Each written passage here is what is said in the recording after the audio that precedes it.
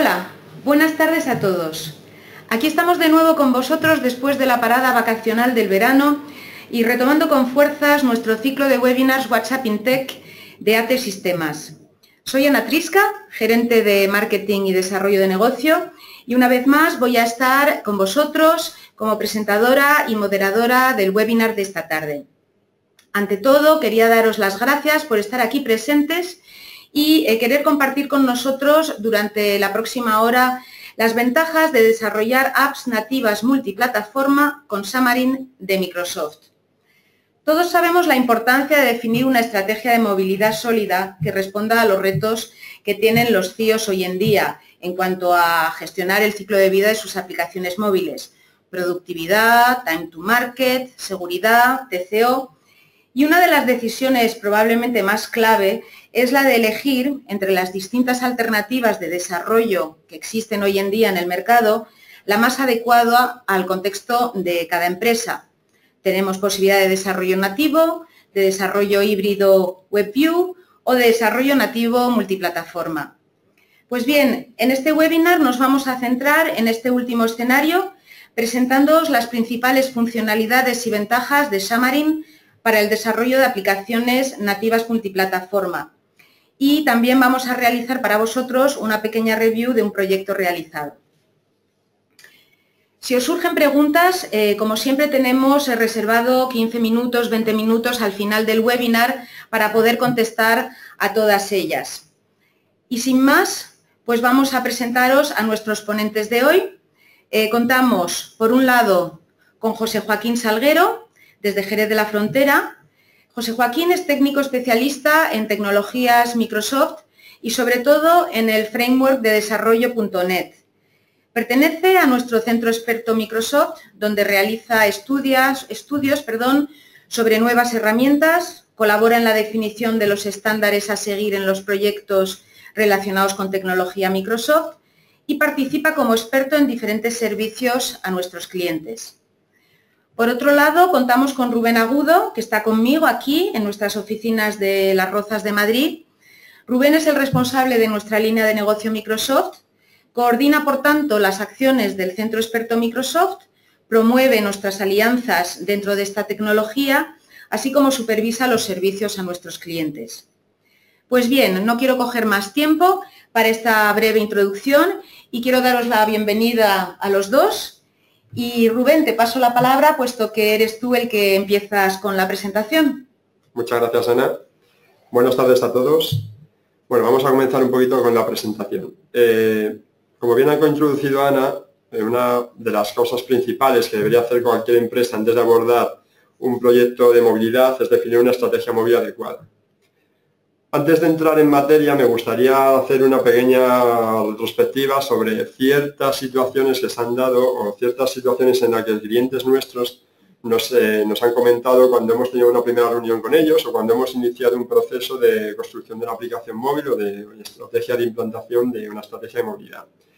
Pues por ejemplo, debido a las premuras de estos años atrás en los que era imprescindible tener una aplicación pública en el mercado, de cualquier compañía que se preciara tenía que estar subida a ese tren de la transformación digital, de estar accesible vía dispositivos móviles, pues se cometieron ciertos errores. Muchas empresas pues atacaron esto de una forma poco controlada, se, desarrollaron aplicaciones en las que intervenían distintos proveedores, porque tenías un proveedor que era especialista en Android, otro proveedor especialista en tecnología iOS, etcétera. Y bueno, esto al final ha terminado dificultando muchísimo el gobierno IT de estas aplicaciones, es, ha convertido un tremendo dolor de cabeza para los departamentos IT y para los CIOs de cada compañía.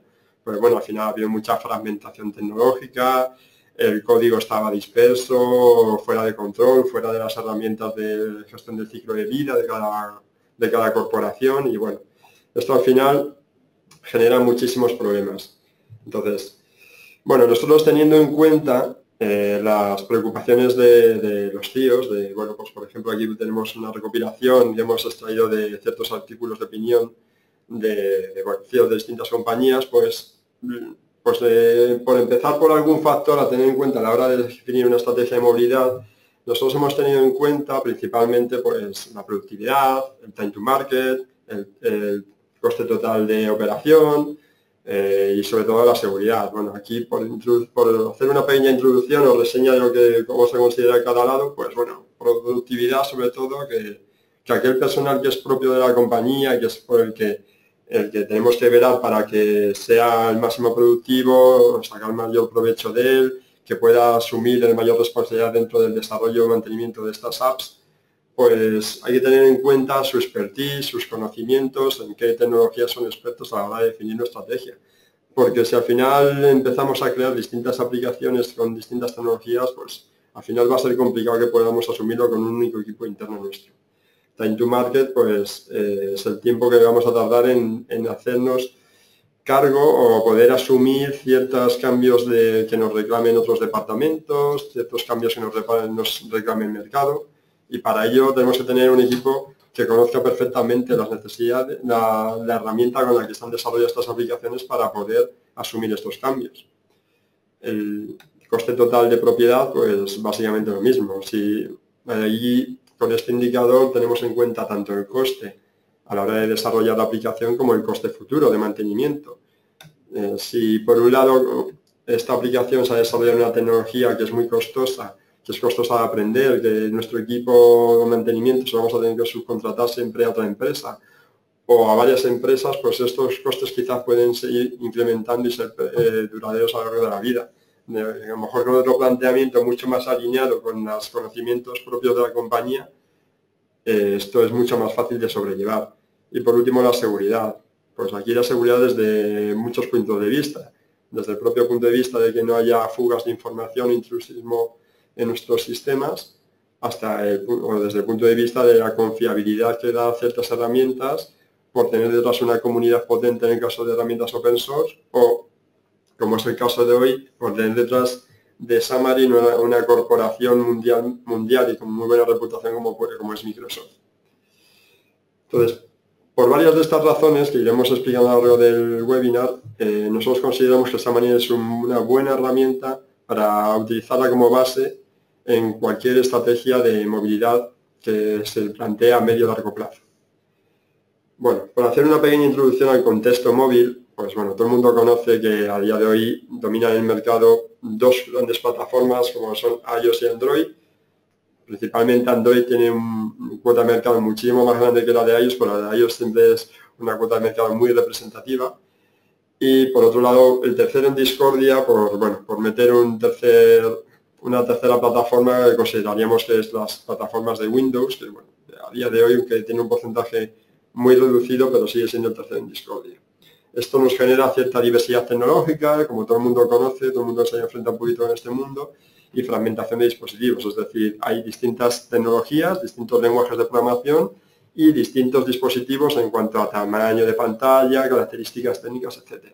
Estos son los retos que hay que tener en cuenta también a la hora de abordar una estrategia de. Y bueno, ya metiéndonos más en harina, por decirlo de alguna forma, ya llegamos a un punto de qué herramienta o qué lenguaje vamos a utilizar para desarrollar las aplicaciones móviles nuestras que queremos para el futuro que pueden ser tanto aplicaciones corporativas para uso interno del personal de la compañía como nuestras aplicaciones comerciales que le vamos a dar a nuestros clientes. Pues eh, aquí, principalmente en el mercado, podríamos decir que hay tres grandes grupos o tres grandes caminos o alternativas. ¿vale? Por un lado está el nativo, que es lo tradicional, que es desarrollar para cada, cada plataforma con su lenguaje. En este caso estamos evaluando o teniendo en cuenta como si tuviéramos que desarrollar cualquier estrategia que quisiéramos abordar en movilidad, que la queremos desarrollar para tres grandes plataformas, pues tendríamos que desarrollar o tendríamos que tener equipos multidisciplinares o, tres grandes equipos independientes que conocieran tres lenguajes y entornos de desarrollo distintos, como sería C para iOS, Microsoft para eh, los lenguajes de Microsoft para las aplicaciones de Microsoft o Java for Android para las aplicaciones de Android. Por otro, luego el segundo vía, el segundo camino son el desarrollo híbrido WebView. Esto es lo que a día de hoy más se conoce como un híbrido, un desarrollo híbrido, que es, son desarrollos basados en lenguaje de programación, suele ser HTML, con CSS3, con JavaScript, y que el resultado se ejecuta en un WebView. Un WebView, como todos podéis conocer, o bueno, si no una pequeña introducción, es es como si tuviéramos que ejecutar en un navegador dentro de nuestro, dentro de nuestro smartphone, dentro de nuestra tablet, como si levantáramos un navegador en el que se está ejecutando nuestra aplicación. En realidad, de cara al usuario, esto es transparente, realmente se ve como una aplicación, pero se está ejecutando sobre la base de un navegador, ¿vale? Por eso se, dice que es un modo web view.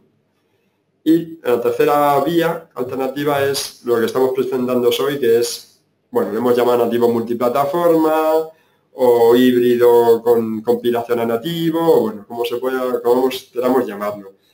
En este caso, Xamarin es un poco un compendio de ambos, de ambos vías, ¿vale? Por un lado, estamos desarrollando en un único lenguaje de programación, que en este caso es Cesar, sobre el IDE de desarrollo Visual Studio, también se puede utilizar Xamarin Studio, pero ahora la vía es más utilizar Visual Studio desde que lo ha adquirido Microsoft a Xamarin. Y bueno, con una IDM, pues eh, nuevamente controlado, que suele ser el típico de desarrollos Microsoft, aunque bueno, ahí también se pueden considerar otras alternativas. Y el código desarrollado íntegramente en César, una vez eh, que vamos a desplegar o vamos a generar estas aplicaciones, eh, Xamarin a través de sus compiladores y sus linkadores internos lo que hace es tener la capacidad de generar aplicaciones nativas. Es decir, lo que estamos generando luego cómo se ejecutará en nuestro smartphone como una aplicación puramente nativa que hubiéramos desarrollado con uno de los lenguajes de nativo que comentábamos al principio. Estas son las grandes, las tres grandes vías y las diferencias y similitudes que tienen entre ellas. Características, bueno, bondades y bueno, y contrapartidas que tienen cada una de estas, pues bueno, sobre todo en nativo, las bondades es que es una interfaz de usuario, experiencia de usuario 100% nativa, 100% propia de cada plataforma y que puedes acceder a toda la funcionalidad que ofrece esa plataforma. Eh, pues por contrapartida, pues se tiene nuevamente, te supone multiplicar el desarrollo por tres, tanto en tiempos como en personal. En híbrido WebView, pues no, cabe la posibilidad de incluso poder compatibilizar, homogenizar y tener un único desarrollo 100% único para todas las plataformas lo normal al final es realizar pequeñas personalizaciones para que esa interfaz de usuario experiencia pues se aproxime bastante a la del nativo, pero bueno, te, utilizas una gran cantidad de código, con lo cual, y de equipo, porque solo está desarrollando una de las únicas lenguajes de programación. Esto es lo que decimos un, un multidesarrollo, ¿no? Y después en Xamarin, pues tiene las ventajas del híbrido y ciertas de las ventajas del nativo en el sentido en que aunque estás programando en César, puedes acceder al 100% de las capacidades de la plataforma porque Xamarin eh, hace una traducción literal y está constantemente al día actualizándose para todas las novedades que publican en cada actualización del sistema operativo estas plataformas nativas, adaptarla para que sea disponible desde su lenguaje, desde sus librerías y a través del lenguaje de programación CESAR. Muy rápidamente, por el ciclo de vida habitual de una, de una aplicación móvil y que habría que tener en cuenta a la hora de definir esta estrategia, pues tenemos lo que es construcción puramente, se subdivide en diseño, desarrollo e integración. Fase de pruebas o testing, eh, pues muy importante en el mundo móvil por esta dispersidad, esta fragmentación tecnológica que hablábamos, fragmentación de dispositivos, con lo cual nos obliga a poder tener un amplio, realizar muchas pruebas y necesitamos herramientas que nos las automaticen. Y por último, la distribución y monitorización. Distribución tanto si es privada a nivel de OTA o, y monitorización para conocer cómo es el comportamiento de los usuarios en nuestra aplicación y poder detectar también errores que se estén produciendo.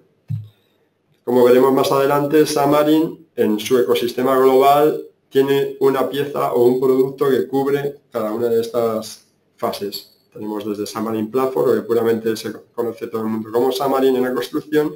En el testing tenemos Xamarin Test Cloud y en la distribución contamos con Hockey App y en la monitorización con Xamarin Site.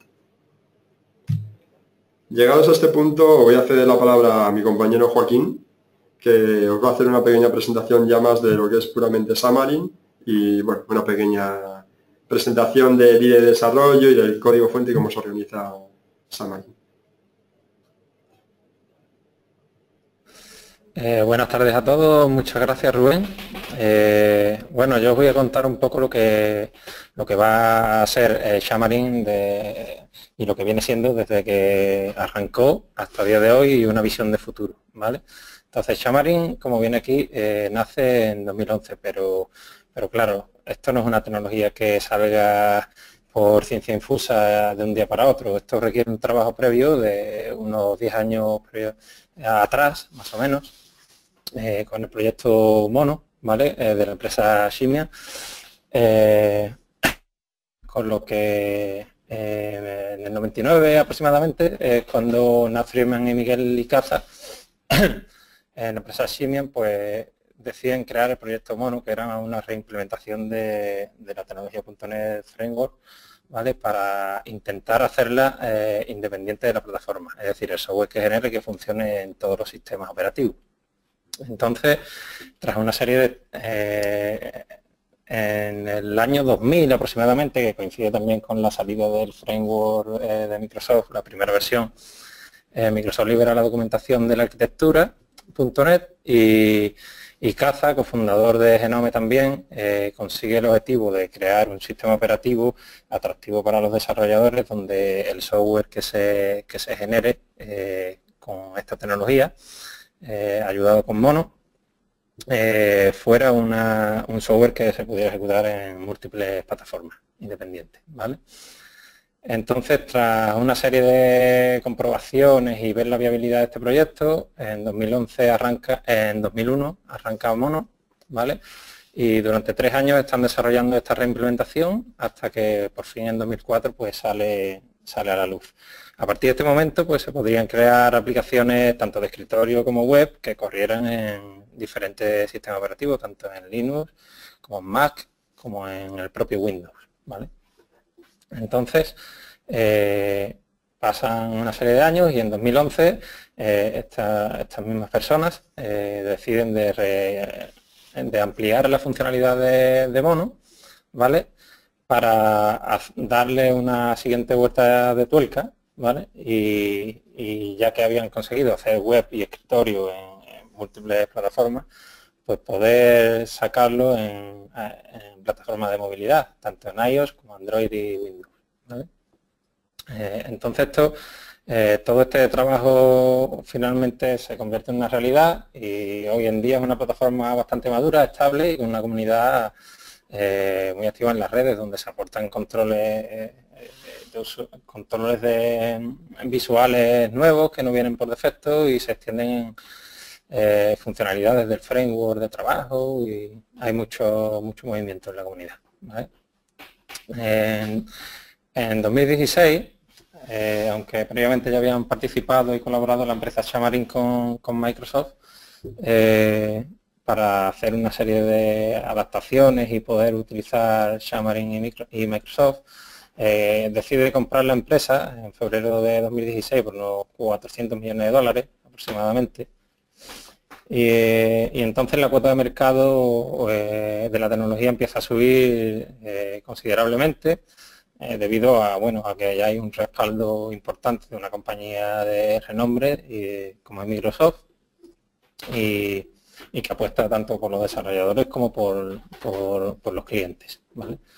Entonces, eh, en este momento pues es una plataforma bastante confiable y, resulta bastante fácil a cualquier programador eh, de casi cualquier tecnología eh, sobre todo gracias a que se usa lenguaje de programación altamente tipado y al uso de arquitecturas ampliamente extendidas en, otros en otros lenguajes también, eh, eh, para conseguir convertirse o, adaptarse a esta forma de trabajo y, llegar a ser un desarrollador para, para todas las plataformas de movilidad disponibles en el mercado en relativamente poco, poco tiempo una pequeña curva de aprendizaje inicial, como en todo, como en todos los lenguajes de programación, al final pues se consigue se consigue llegar a, dominar esta, esta faceta y tener la posibilidad de generar aplicaciones para las tres plataformas. Con un pequeño equipo eh, de dos tres personas, quizás, una persona especialista en la parte de front y otra o otras dos personas especialistas en el código de back, eh, podemos montar un equipo capaz de realizar aplicaciones en las tres, en las tres plataformas. Vamos a pasar a la siguiente.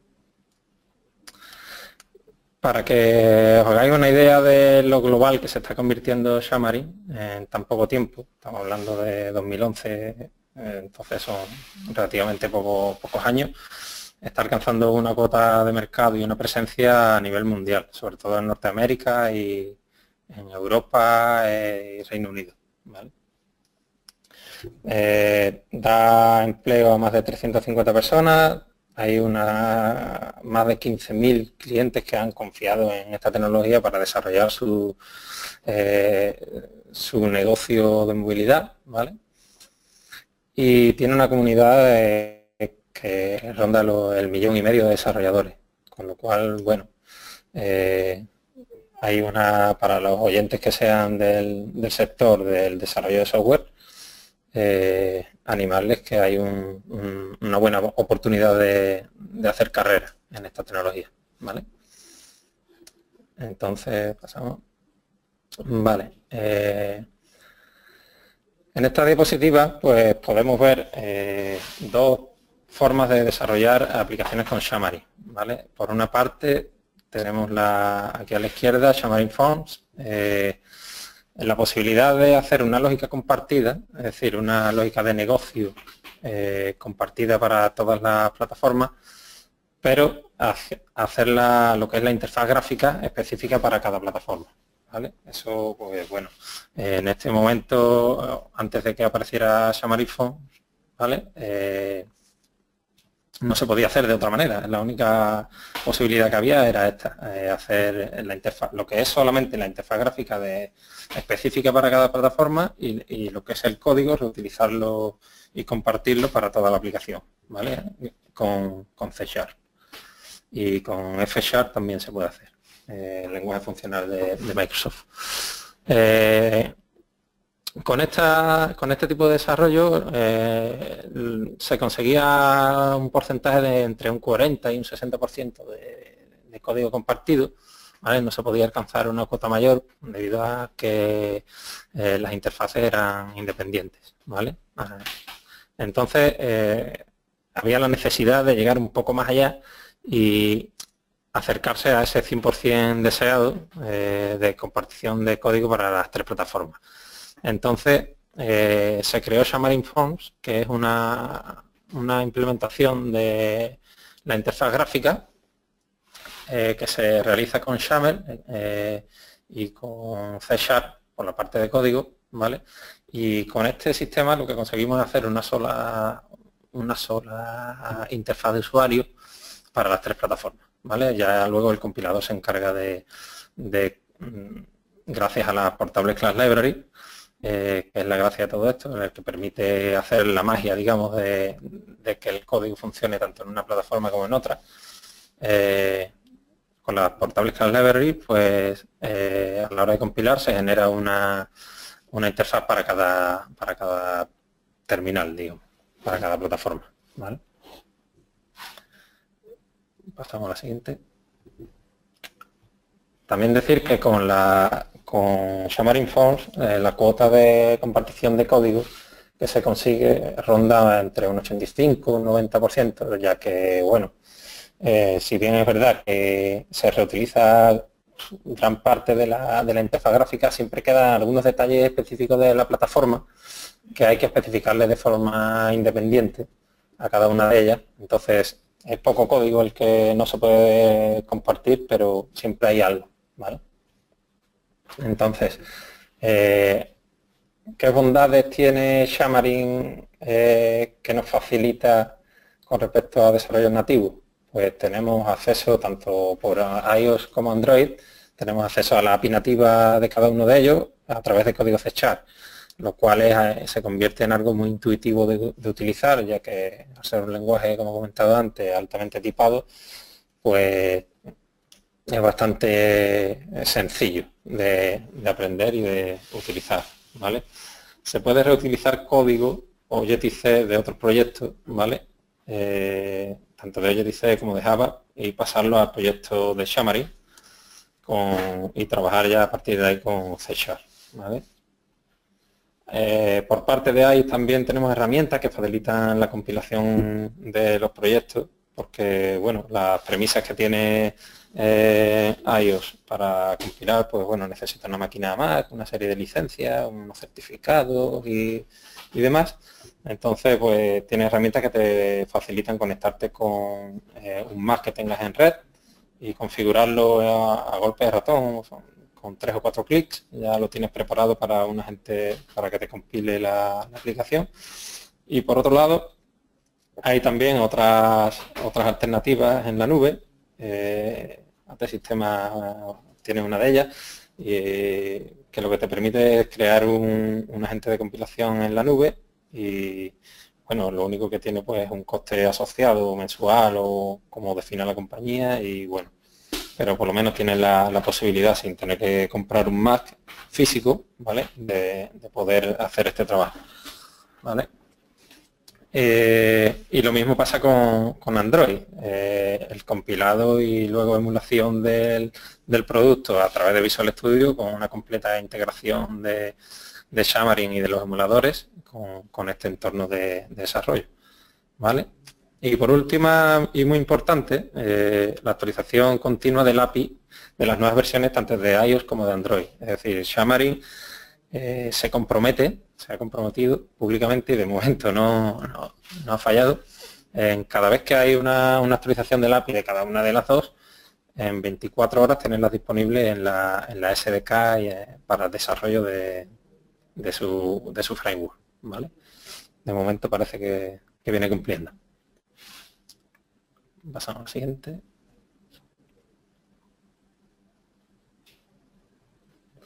Vale, a la hora de elegir un entorno de desarrollo, eh, en este caso pues tenemos dos, opciones, pues dependiendo sobre todo del sistema operativo donde, donde trabajemos habitualmente o donde vayamos a desarrollar las aplicaciones. ¿vale? Por un lado está Xamarin Studio, que sobre todo va a depender de mm, eh, si queremos trabajar en Mac o en Linux, ¿vale? Porque, bueno, eh, sería absurdo no tener su propio IDE para, todos los sistemas operativos, también funcionaría en, Windows, ¿vale? Pero para la gente que viene de trabajar en C o, del mundo Microsoft, eh, está más acostumbrada a trabajar con Visual Studio y a partir de la versión 2013 y 2015 hay una completa integración, sobre todo en la 2015 ya viene una completa integración de Xamarin, tanto las SDK como los emuladores, como todo el framework de trabajo, controles visuales, librerías, etcétera. Eh, ya viene todo integrado. Además te posibilita eh, eh, aprovecharte de todas las bondades que veníamos utilizando con Visual Studio, como es un fácil un fácil consumo de, eh, Microsoft Azure, de servicios en la nube, eh, enganche a repositorios de código con integración continua como Visual Studio eh, Online,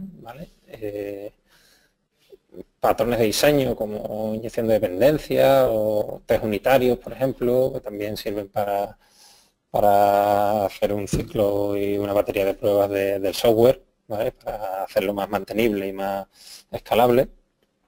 Entonces, bueno, pues la ventaja de usar Visual Studio en este sentido es una integración completa y poder seguir utilizando pues, las tecnologías que ya se conocen. Eh, ahora voy a pasar a voy a pasar a, enseñaros un proyecto, lo que sería eh, con una pequeña arquitectura para que veáis cómo queda el código eh, segmentado, de tal manera que facilita lo que es la reutilización de código en cada una de las plataformas.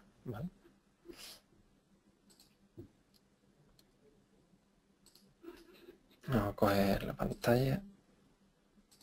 Vale. Eh, en este momento lo tengo lanzado, ¿vale? Eh, vamos a echar un vistazo rápido a la aplicación, ¿vale? La aplicación no es más que una... Eh, ahora mismo la tengo corriendo en un emulador para Windows para Windows Phone, ¿vale? sobre un Windows 10. no es más que una lista de contactos, ¿vale? Con, pues, con una serie de funcionalidades, mandar un email, texto, compartir, hacer una llamada, ¿vale? Eh, posicionar en el mapa la ubicación y tal, ¿vale? Es algo muy, muy básico a modo de ejemplo, ¿vale? Entonces, eh, si voy a pararla para, poder explicar un poco esta parte. si vemos bien, la parte común del código, De toda la solución, son todos proyectos de librerías portables, ¿vale? esto es necesario, ya que sin esto no funciona no funciona, no tendría sentido, ¿vale? Todo este, toda esta arquitectura. Eh, cuando creamos este tipo de proyectos, le especificamos en qué, sobre qué plataformas debe de correr esta, esta solución, ¿vale? Entonces, en este caso, pues se le añaden los talleres de Windows 8, Windows Phone, Android y iOS, ¿vale? Que son los tres proyectos en los que está hecho esta demo, ¿vale? Los tres plataformas. Entonces, eh, como código común podemos meter pues toda nuestra lógica de negocio de la aplicación, el backend, etcétera. Aunque lo más habitual pues, es tener un backend en Azure Mobile Service o, en una API REST externa que podemos consumir desde varios desde varios sistemas de nuestra compañía y tal, ¿vale? Pero bueno, ya eso son decisiones de, de negocio a la hora del desarrollo. Pero en este caso, pues como ejemplo, tenemos eh, las interfaces de nuestra aplicación, ¿vale? Tenemos eh, nuestra capa de acceso a datos, que la tenemos puesta en Azure, ¿vale? Eh, tenemos también los modelos, en este caso pues el modelo era bien sencillo, como es un formulario de, de datos de contacto, el nombre, el título y demás, ¿vale? Y además en esta parte tenemos dos proyectos concretos uno para Android y otro para iOS, que no son portables, son específicos para cada plataforma. Esto se tiene que hacer, es lo que he comentado antes, porque hay detalles en cada plataforma que no se pueden reutilizar. Hay que indicarle eh, concretamente cómo debe de hacerlo en cada una de las plataformas. En este caso, pues mostrar un mensaje en Android no tiene nada que ver con cómo se muestra un mensaje en iOS, ¿vale? Y se utilizan pues cosas del framework, digamos, clases del framework diferentes para cada plataforma. En este caso en Android se usa el Alert Dialog y en iOS se utiliza otro, otra clase, ¿vale? El Alert Controller. Entonces, eh, otra de las cositas que normalmente se suelen, eh, no se pueden compartir son las carpetas especiales donde almacena la aplicación ciertos datos, ¿vale? Como imágenes o texto o algún eh, o donde guarda datos para minimizarse o, y pasar a segundo plano y luego levantarse y demás, ¿no? que necesita guardar una serie de información del estado y demás, pues cada sistema operativo tiene, tiene sus carpetas y, sus permisos y tiene su forma de hacerlo, entonces hay que tener eso en cuenta, ¿vale? Que no es todo, todo, todo, no es 100%, pero sí una gran mayoría, ¿vale? y bueno, una, serie de librerías de útiles y tal. Por otro lado, pues como comentaba antes, también podemos tener proyectos de test, eh, tanto unitarios como funcionales, ¿vale? Donde se va grabando la, interacción que se hace en la aplicación y luego a través de la plataforma de Xamarin, Xamarin, ¿cómo se llama? no me sale bueno, a través de Xamarin Test, ¿vale? Exactamente, a través de Xamarin Test pues, eh, y un ciclo de integración continua, pues nos hace que, el software sea más mantenible y detectemos errores eh, antes de, que, de sacar las aplicaciones a, producción, ¿vale? Por otro lado, en la interfaz eh, tenemos tres proyectos, uno para cada plataforma, pero si nos fijamos bien en el contenido, ya prácticamente no hay código. Eh, lo que hay son detalles de, inicialización, el main activity, por ejemplo, de, Android, temas de inicialización con Hockey App, temas de inicialización con la caché de las imágenes y eh, pocas cosas, ¿vale? Cosas muy específicas de la plataforma, ¿vale? Y nada, recursos gráficos que se utilizan en la aplicación, eh, cada uno en su, en su tipo de proyecto ¿vale?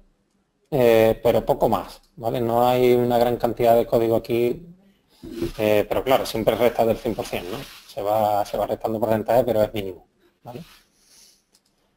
Y finalmente, pues en, Windows Phone, ¿vale? La gracia de todo esto es que este proyecto está realizado con, con Xamarin Forms, entonces tenemos toda la, capa de presentación en este proyecto, ¿vale? Que como indica aquí a la derecha es una librería portable finalmente, una portable class library. Eh, y aquí sí que tiene toda la lógica de la, presentación, las pantallas, ¿vale? Como comenté antes en Xamarin, ¿vale? y por detrás, pues con código C Sharp, ¿vale? Eh. Eh, tenemos todas las vistas modelo, en este caso se utiliza un patrón de VMMV, ¿vale? Con comandos y una serie de convertidores y tal, un poco de código, ¿vale? Para hacer cierta lógica. Eh, pero lo importante de aquí es quedarnos con que la, toda la interfaz eh, que se cree aquí va a ser la misma, exactamente la misma en las tres plataformas, ¿vale?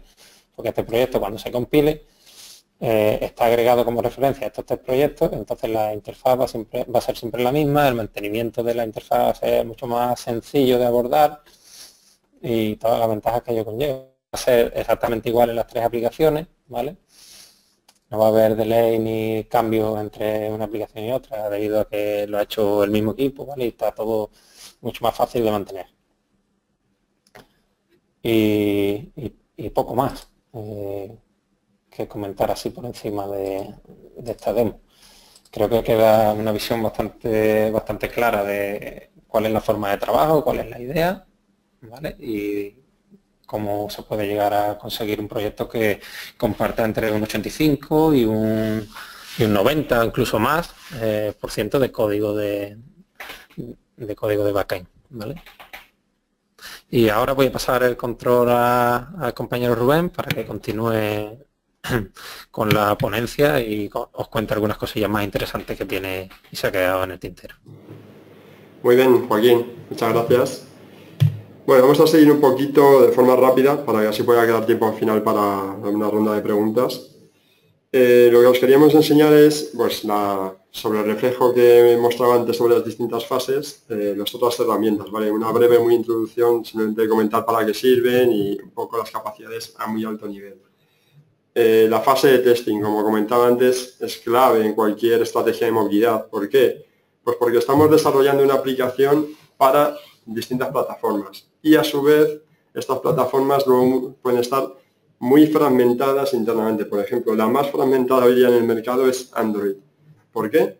Pues porque tiene, es un sistema operativo libre que cede Google y lo utilizan muchísimos fabricantes. Estos fabricantes a su vez pues tienen muchísimos dispositivos distintos, con distintos tamaños, distintas capacidades de hardware, de software, con lo cual, pues bueno, es complicado.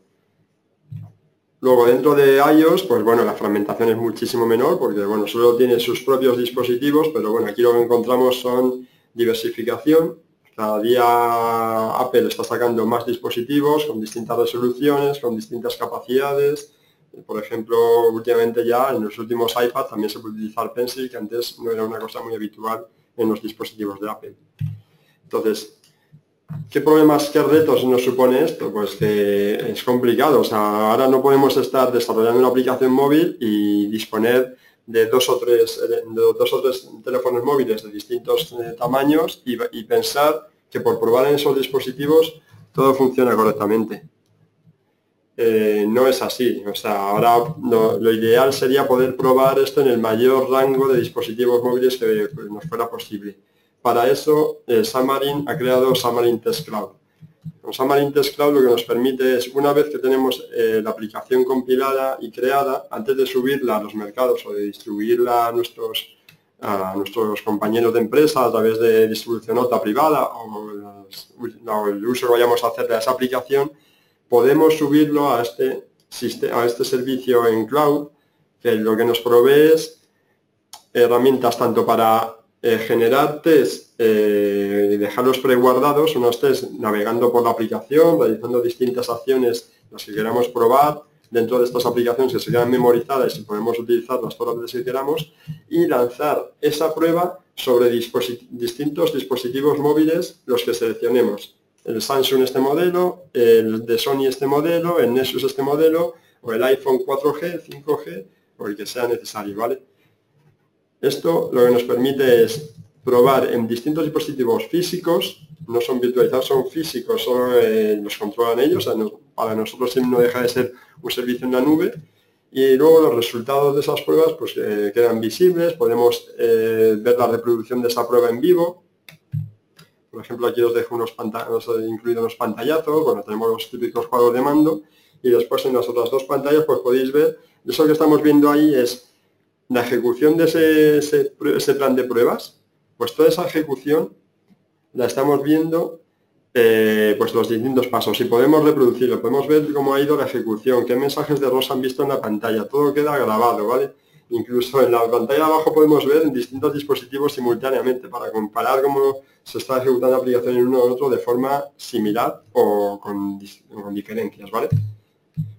Y después para el último paso del ciclo de vida de una aplicación móvil tenemos el despliegue y la monitorización. Para el despliegue, cuando es una aplicación móvil eh, pública, pues si lo que queremos es desplegarlo en los markets, eh, lo que nos ofrecen, no nos ofrece Xamarin en este caso ninguna utilidad, lo que hay que hacer es a, través de las distintas herramientas que ofrece cada plataforma, pues subirlo al market, ¿vale?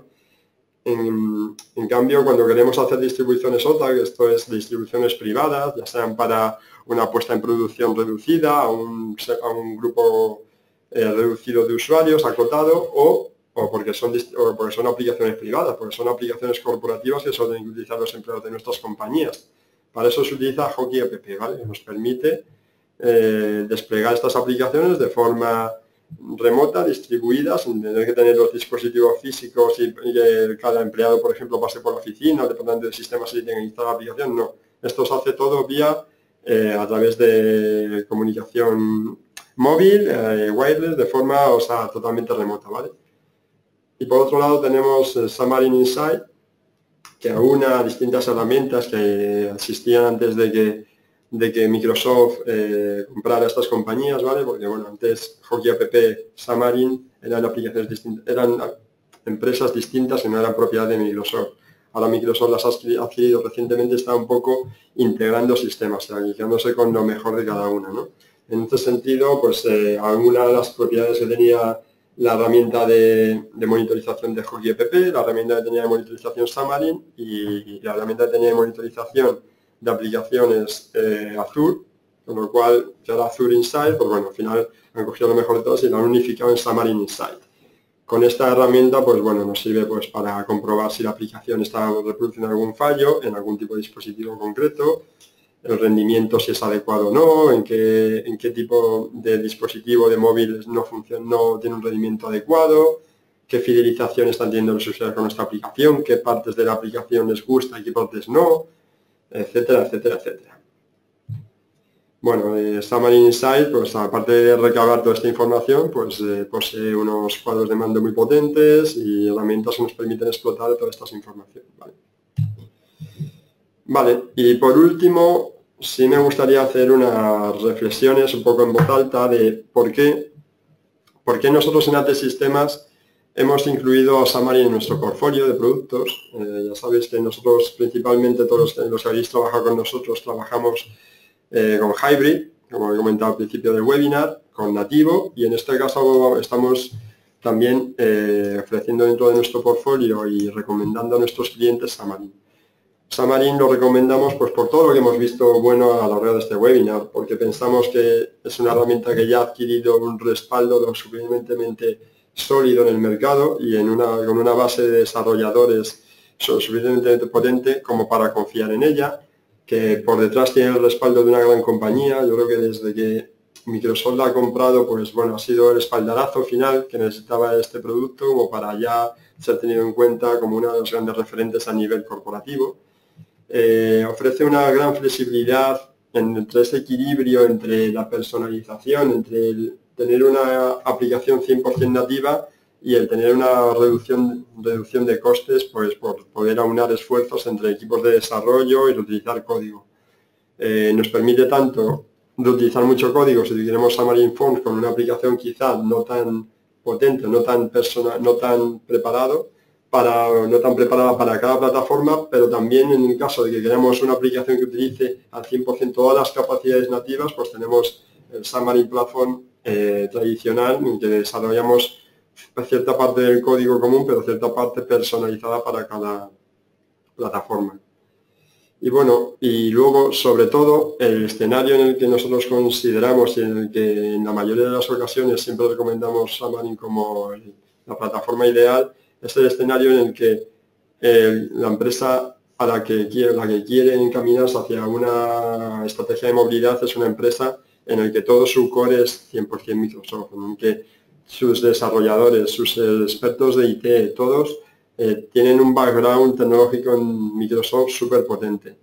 En ese sentido, mm, Xamarin no cumple todo, porque bueno, ya, ya es que ni siquiera el líder de desarrollo, en las herramientas de LM, ya sea TFS o, Visual Team Services, en todo cuadra perfectamente con lo que ya tiene la compañía. O sea, vas, no va a ser nada rupturista. Xamarin va a ser perfectamente continuista y se va a asimilar muy bien dentro de los procedimientos que ya tiene la compañía. A ver, bien es cierto que no, por tener eh, conocimientos o ser muy muy experto en framework.net, de la noche a la mañana vas a poder desarrollar aplicaciones móviles más por, mucho que utilices Xamarin. Cierto, cierto conocimiento background de, y de desarrollo de aplicaciones móviles tienes que tener. Va a haber una cierta curva de aprendizaje, pero esa siempre va a ser mucho más suave que con la curva de aprendizaje si pretendes desarrollar en nativo que vas a tener, va a tener, que contratar un equipo, montar equipos eh, multidisciplinares que te van a utilizar Objective-C, Java y Microsoft, por ejemplo, ¿vale? Entonces, bueno, por todas estas razones nosotros lo hemos considerado una herramienta muy potente y muy recomendable a día de hoy. Vale, pues yo voy, a dar paso a Ana y a ver si qué preguntas nos habéis enviado. Muy bien, pues eh, efectivamente vamos a pasar al turno de preguntas. Eh, hay unas cuantas preguntas que ya hemos ido recibiendo. Eh, empiezo con una de ellas. Habéis comentado, comenta nuestro oyente, que con Xamarin se puede reutilizar código de otros proyectos .NET. ¿Hasta qué punto es viable? ¿Quién lo contesta? ¿Rubén? Eh, ¿Joaquín? yo lo de Joaquín. Yo lo voy a, lo voy a contestar. pues es viable, es viable reutilizar código de otros proyectos siempre y cuando, bueno, pues se compilen y sean eh, compatibles, eh, tanto las librerías de tercero que utilices como todo el código eh, con, con Portable Class Library, ¿vale? Siempre que cumpla esta premisa se puede reutilizar perfectamente código de negocio que ya tengamos desarrollado para otras aplicaciones dentro del backend o dentro de, la lógica de negocio de la propia aplicación no hay ningún problema. Em, vamos a seguir. Eh, tenemos otra pregunta.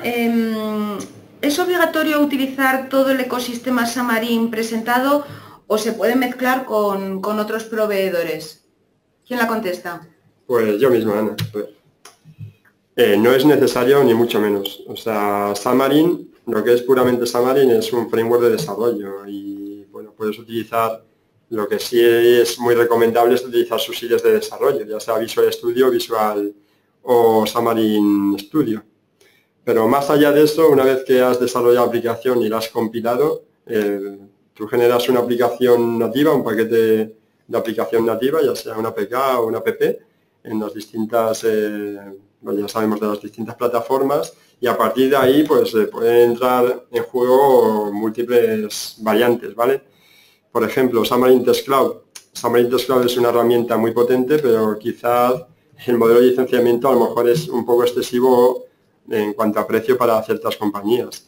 Eh, nosotros en este sentido, eh, aunque recomendamos encarecidamente utilizar herramientas de este tipo, también eh, tenemos experiencia con, con Amazon Web Service Mobile Fund, que, bueno, aunque tienen unos precios bastante alineados, pero bueno, quizás una pues pueda ser más conveniente que otra en cada caso, ¿vale? Entonces, por ejemplo, nosotros incluso tenemos otros, otro webinar de hace unas, unas semanas, hace unos meses, en el que mostramos cómo utilizamos para el testeo de aplicaciones eh, Amazon Mobile Fan con, con Appium.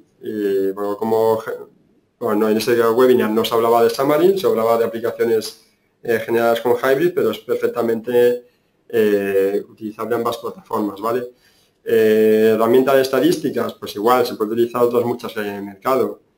Eh, herramientas de distribución, pues se puede utilizar Hockey App o se puede utilizar otras muchas. Por ejemplo, en este sentido, nosotros también eh, tenemos una, herramienta de gestión de ciclo de vida de aplicaciones que una de sus funciones dentro de las muchas es la distribución OTA, que es Manticore MDM. Eh, y bueno, esto es una herramienta muy potente que va a servir para la firma, para la distribución, para la compilación. Bueno, esto, creo que esto Ana, mismamente vas a anunciar que tenemos un webinar próximo sobre ella, así que tampoco voy a extender. Sí, no te adelantes. Perfecto. Eh, vamos, resumiendo la pregunta, sí. Eh, bueno, no, precisamente no es necesario utilizar todo el ecosistema completo y sí, es totalmente plugable y puedes utilizar las partes que te vengan con más convenientes en cada caso. Pues queda muy claro.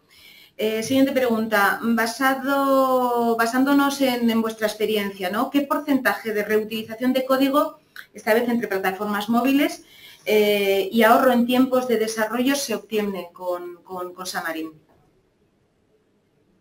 ¿Quién me la contesta? Eh, yo, yo te la voy a contestar. Eh, básicamente, y basándonos en nuestra experiencia,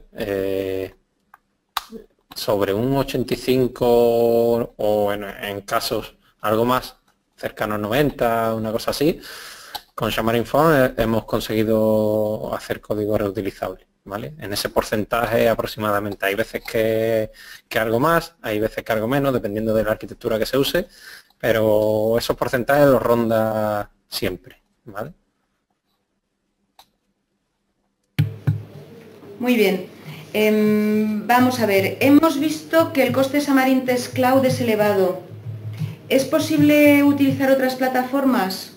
Sí, sí, bueno, está, está muy... Comentado, ¿no? Sí, esto ya lo hemos comentado un poquito antes. Eh, que nosotros conozcamos, tenemos experiencia, hemos utilizado Amazon Web Service Mobile Farm, que bueno, yo ahora mismo tampoco conozco en detalle cómo, cómo es de cada uno respecto a la otra. Sé que Xamarin Test Cloud pues, es una herramienta muy potente y así, y el precio va alineado con, con la calidad de esta herramienta pero probablemente a lo mejor Amazon Web Service en este sentido pues a lo mejor tiene unos precios más reducidos o un, o un modo de licenciamiento más atractivo y ambas son dos muy buenas herramientas que nosotros hemos utilizado y, que tenemos una experiencia muy satisfactoria con ellas. Y ya os digo, es totalmente, esto es una herramienta que va a posteriori en el ciclo de vida de la aplicación, con lo cual, llegado ese momento, se puede utilizar cualquier otra herramienta. Bien, eh, más preguntas, vamos a ver si todavía tenemos tiempo. ¿Es posible utilizar UI diseñada con herramientas de iOS o Android? Joaquín, Rubén. Eh, sí, te la, voy a, te voy a responder yo. Eh, interfaces de... Vale, sí, ya entiendo. se puede, sí, se puede reutilizar. Hay, hay un software, ¿vale? Para convertir proyectos de, de iOS nativos y, Android para convertirlo a una solución de, Visual Studio. Con lo cual eh, no hay ningún problema en la integración de un código y la reutilización de un código de una aplicación que ya se ha hecho en alguna de las plataformas nativas y reutilizarlo en, una nueva solución de Visual Studio y ampliarlo. Lo que hace es convertir las clases a través de, de C y C++, ¿vale? Lo convierte a, código de C y C++, entonces eh, perfectamente compatible con la plataforma Microsoft. Muchas gracias, Joaquín. Más preguntas, nos quedan unos cinco minutos. Eh, aparte de desarrollos para iPhone, teléfonos Android, eh, ¿Xamarin sirve para otras plataformas? Vale, bueno, a ver. Eh, a ver, esto es una pregunta un poco, a ver, a futuro probablemente van a cubrir mucho espectro, porque bueno, esto Amarin va evolucionando, seguramente desde que, desde que, desde que Microsoft lo ha adquirido, pues esto va a tener una evolución cada día más potente. A día de hoy, las plataformas que cubre son eh, iOS, Android, Mac, para desarrollar aplicaciones de sitio de Mac, y Windows, eh, Windows en las distintas alternativas, Universal Windows Platform o Windows Mobile, ¿vale? Tanto para desarrollar aplicaciones específicas para móviles como Windows Universal Platform, para que no es el nuevo modelo de aplicación multiplataforma que ha desarrollado Windows a, a, raíz de la publicación de Windows 10, en el que, bueno, se pueden, las aplicaciones se pueden compartir una misma aplicación entre una tableta, entre un PC de escritorio o entre un móvil, ¿vale? Que soporte esta herramienta.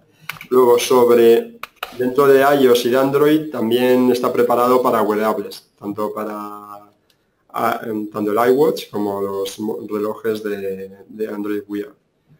Y bueno, a día de hoy eh, eso es lo que cubre. Pero bueno, la ventaja de esto es que como es algo que va a evolucionar el propio fabricante, eh, el propio código desarrollado en Windows Form o el código común desarrollado con librerías compartidas, que luego se expone a través de una personalización a través de, de Xamarin también, pero de librerías personalizadas, se podría seguir utilizando a medida de que vaya creciendo, de que vaya apareciendo nuevas plataformas, con lo cual esa es la flexibilidad y versatilidad de cara al futuro que puede tener esta herramienta frente a otras. Muchas gracias, Rubén. Eh, más preguntas. Eh, Xamarin Insight o Hockey App, comentan. ¿Y en qué casos se puede utilizar los dos en el mismo proyecto? Vale, a ver, esta pregunta yo creo que viene un poco a raíz de, bueno, porque antiguamente, como he comentado, eran empresas distintas y en cierta parte se podían pisar eh, la funcionalidad que tenía una u otra, ¿vale? A día de hoy, y bueno, los servicios antiguos se, siguen, se los seguirá soportando y los seguirán aportando, pero a día de hoy lo que publicita Microsoft y lo que ofrece es que eh, Xamarin, Insight, que ya os digo que era lo que antes era Azure Insight, eh, ha pasado a ser su sistema de estadísticas, ¿vale? De reporte de estadísticas, de reporte de, errores, etc. Hockey App, anteriormente, aparte de distribución nota, tenía también su propio sistema de reporte de estadísticas, de funcionamiento, de reporte de errores, etc. Ahora, a día de hoy, Xamarin Insight ha cubierto esa, esa capa que tenía Hockey App, ya bajo nivel no sé qué decir, que ha utilizado la de Hockey App o ha utilizado más la de Azure o ha utilizado más la de Xamarin, pero lo que han hecho ha sido hacer una mezcla y han unificado en una única aplicación. Con lo cual, a día de hoy, lo que es Hockey App es más para distribución nota, Xamarin Insight es más para analíticas. Con lo cual, sí se pueden trabajar como en el mismo proyecto, por supuesto. Muy bien. Eh, bueno, nos quedan ya unos muy un par de minutillos. Eh, vamos a pasar a una última pregunta, aunque nos van a quedar cuatro preguntas en el tintero, pero que contestaremos eh, a posteriori para cada uno de los, de los, asistentes que las preguntan. esta es una pregunta que he dejado un poco al final, porque bueno, es, es algo más de tipo de negocio. ¿Cuál es el coste y modelo de licenciamiento de Xamarin? Vale, pues a ver.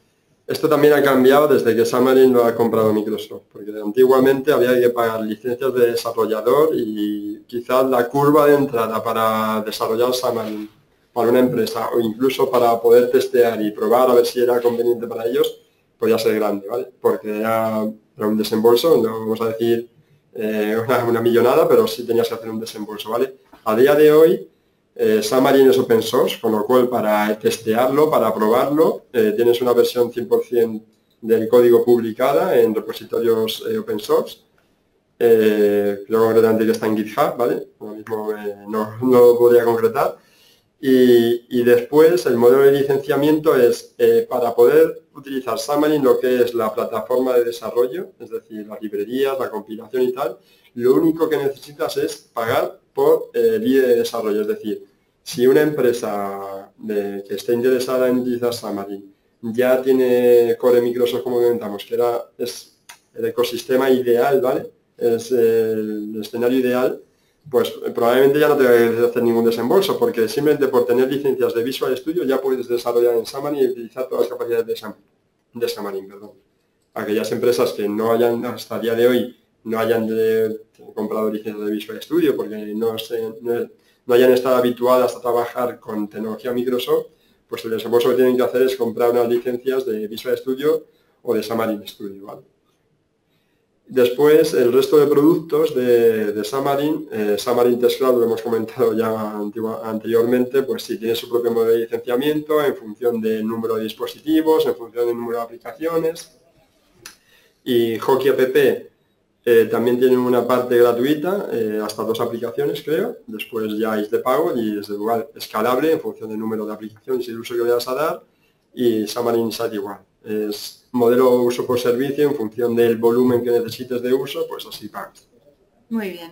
Pues muchas gracias a los, dios, a los dos. Eh, sentimos eh, no poder contestar a todas las preguntas porque ha habido muchas, pero bueno, como os comentaba, eh, las contestaremos en el caso de cada, de cada uno de los asistentes que preguntan.